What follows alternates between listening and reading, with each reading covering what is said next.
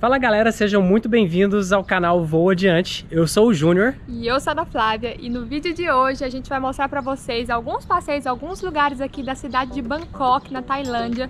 A segunda cidade mais visitada do mundo, um lugar imperdível a gente vai mostrar para vocês.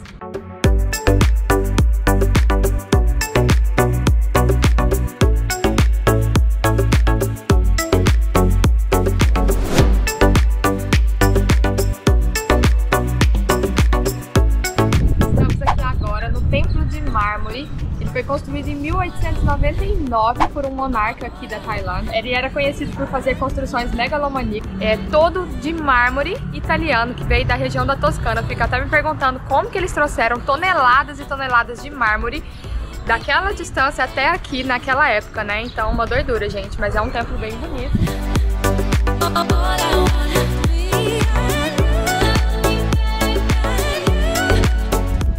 Gente, nós chegamos aqui, né? Aí a gente tava entrando, a gente já tinha lido, claro, mas a Ana Flávia não tinha não, uma roupa, né? Não um... trouxe nenhum lenço, gente, porque não cabia na mala. Aí a gente foi entrar ali, o cara foi não deixou não. Não, não pode. Aí a gente chegou ali no lugar, a mulher foi e emprestou para ela. A gente viu em vários blogs, né, que a galera normalmente cobra, tipo um calção, né, pra, pra, pra emprestar uma roupa. Olha aqui, gente, o lenço. Até bonito, combinou com a minha roupa. Olha, agora Ana Flávia. Tá cheirosinho, acho que é novo. Uhul! Bora! Mas fica a dica, gente. Traga um lenço ou se cubra totalmente aqui na parte de cima, porque não pode ombros à mostra dentro dos templos.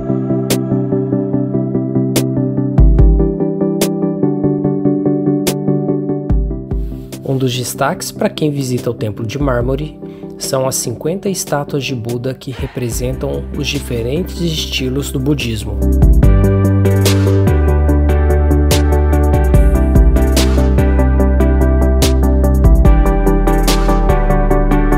Galera, como a Ana falou, aqui é tudo de mármore. Olha esse, aquelas esculturas ali, ó, aquelas estátuas. Olha o acabamento, até as pontinhas.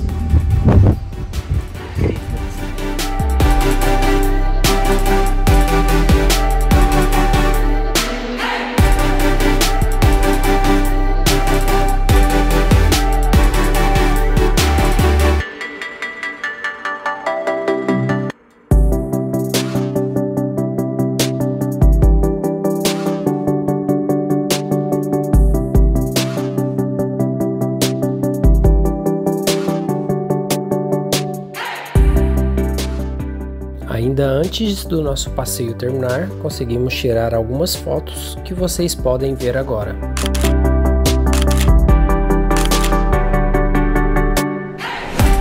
Olha só, estamos aqui na Golden Mount e é 300, mais de 300 degraus para a gente subir até lá em cima. Preparado? Bora nessa, né? A gente já comprou o ingresso, 50 baht cada. Para encarar então, a subida Foi 100 para nós dois. Gente, tá muito calor tirar uma máscara porque não vai ter como subir escada de máscara não, viu? Começamos a subida pelas escadas em direção ao templo que fica no topo da montanha.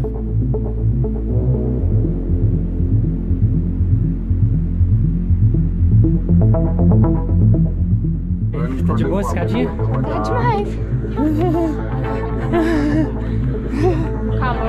Meu Deus do céu. Mais 30 graus, gente. Você tá doido.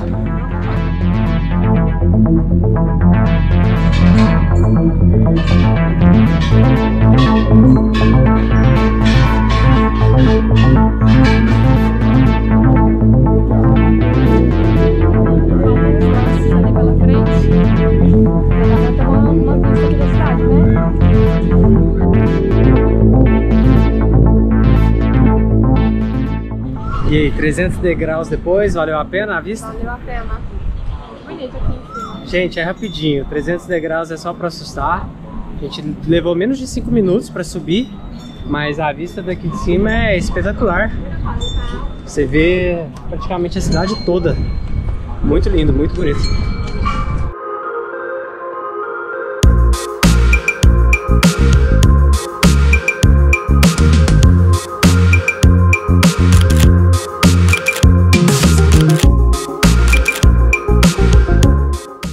É sem dúvida o templo que tem a vista mais bonita de toda Bangkok.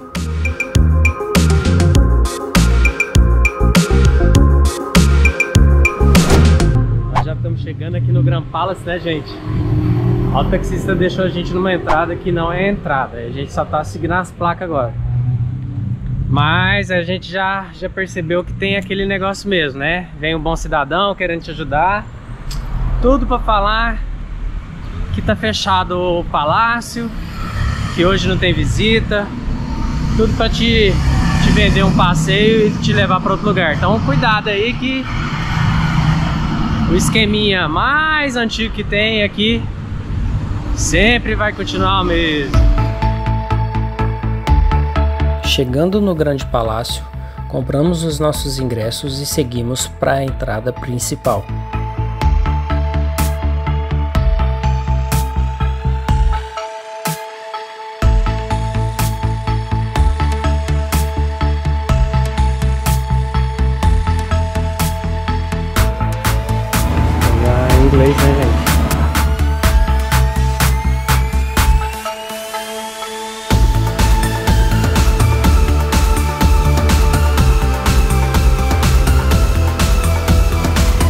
Pessoal, a Tailândia ela é constituída por uma monarquia. E para quem não sabe o que é uma monarquia, em palavras simples, é quando o poder supremo de um país, ou seja, o chefe de estado, ele é um rei ou uma rainha. E esse local que estamos aqui agora é o Grande Palácio Real, que foi a sede da realeza tailandesa desde o século XVIII até o século XX. Eles moravam aqui, né? era a residência deles. Essa construção aqui, esse complexo de prédios que fica no coração de Bangkok, ele começou a ser construído em 1782. Exatamente. E dentro desse, desse complexo aqui há várias construções que a gente vai mostrar um pouquinho de cada uma para vocês agora. Dentro do complexo, as construções que mais se destacam são a Grande Pagoda Dourada, o Templo Wat Prakarel, que é onde fica o Buda de Esmeralda, e é claro, o Grande Palácio Real.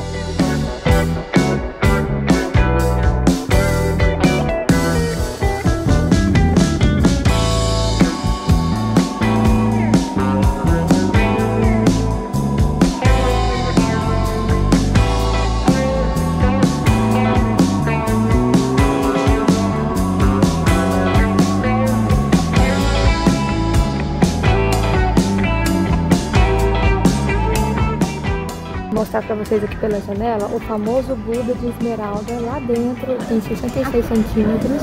Na verdade ele não foi feito de esmeralda, foi de, é de jade. Ainda assim é uma pedra preciosa, né? E a capa dele é toda de ouro. Ele tem 66 centímetros de altura.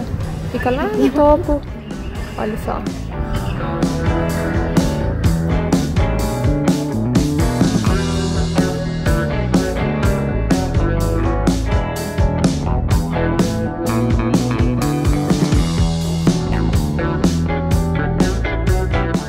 Esse daqui é um passeio que se você vier a Bangkok, você não pode deixar de fazer.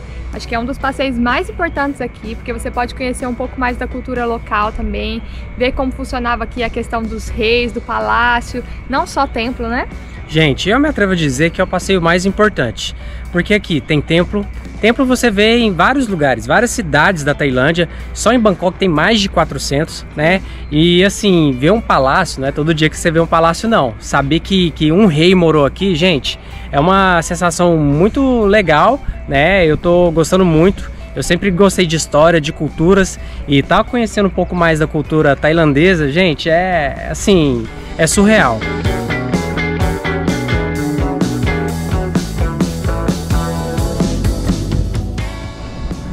E aí, gente, vocês morariam num lugar como esse aí? Fácil, fácil, né? Hã?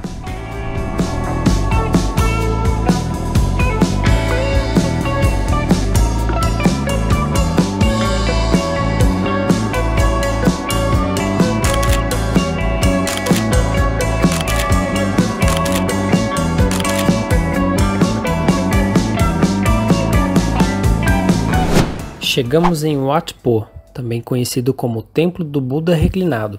Fica exatamente ao lado do Grande Palácio Real. Ele é um dos templos mais antigos de Bangkok e é considerado o primeiro centro de educação pública da Tailândia.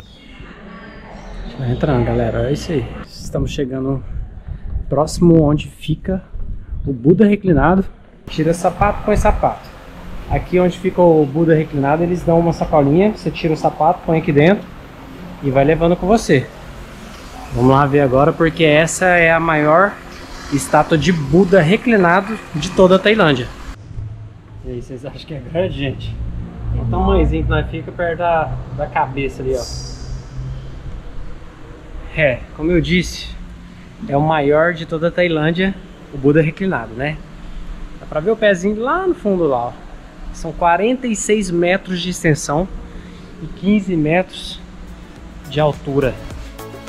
Se gostou do vídeo, deixe sua curtida, ative o sininho e não perca o próximo vídeo com a parte 2 de passeios imperdíveis em Bangkok. Até a próxima!